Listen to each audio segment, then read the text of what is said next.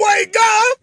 Definitely want to start the day off with some gratitude, thanking the Lord for the blessings that we receive and thanking Him for another beautiful day. So here we go, people! Take action Tuesday, and I'm turned up. I hope that you are. You know, as the last, one of the last days of 2014, I'm thinking, looking back to everything that I've done over the last 90 days, especially this, this month of December.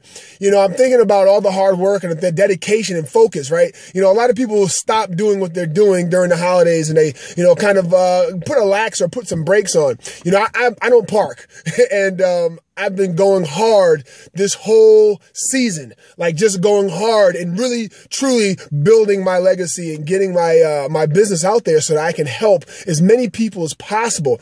And, you know, those things are starting to come back now. They're coming back. They, you know, the people are, are coming back saying, Hey, all right, let's go, let's go, let's go. New year, new me, you know, let's go, let's go, let's go. And, you know, it's, it's a testament to never stop working. All right. Never stop working towards your dreams. You know, it may be difficult at times, it may be challenging, but you must take action. So yesterday I went down to one of the gyms that I have enrolled and then I'm working with the nutrition program down there, and um, you know, got some NFL athletes, some uh, NCAA athletes, some high school athletes, which was truly, truly inspirational. When you have a freshman in high school, junior in high school, you know, training as hard as a level of NFL guy, um, you know, it just really uh, opens my eyes to really seeing what dedication, hard work is, and determination to be successful, and seeing parents there supporting their children in their movement. So I'm down there and I'm observing everything that's going on, and it really reminded me back of myself. You know, when I was playing pro ball and how hard it was for me to go up against the challenges.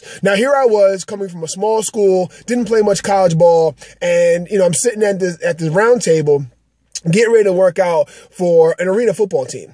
And I'm sitting there and I'm just really overwhelmed by the names and the pedigree that surrounded me. You know, the names and NC State and Notre Dame and Michigan State. And, you know, and here I am coming from Southern Connecticut State University, um, with not much college experience, but a lot of uh, minor league experience, um, and looking for that shot.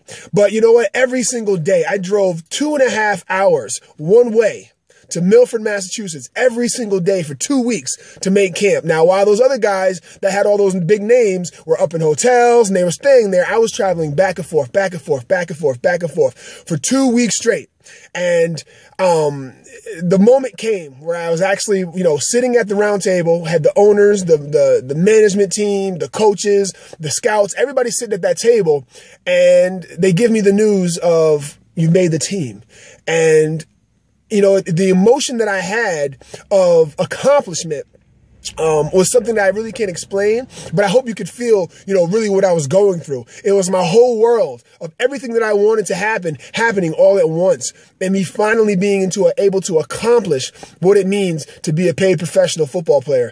And, you know, it was, it was truly remarkable. And so yesterday when I was sitting there watching these players look for their dreams or currently playing for their dreams, it was truly inspirational. It showed me that everything that, you know, you do in your life, it has to be done at 100%. It has to be done at 110% and you have to take action. Massive activity is the only way that you're going to accomplish what it is that you're going to accomplish. If you die, if you stop for any second, if you stop, you know, um, what's his name? Um, um, uh, the motivational speaker, uh, Thomas, um, you know, Eric Thomas, he says, he says, if you stop, if you stop going for your dreams, you can set your dreams back six months or, or more by just stopping for one day, just stopping on that action that you're supposed to be taking. So my words to you guys today is take action. Here it is, you know, um, you know, December 30th, tomorrow being New Year's Eve. You know, what are you going to do today to take action? Are you going to take the day off? Are you going to go ahead and just continue to dream on?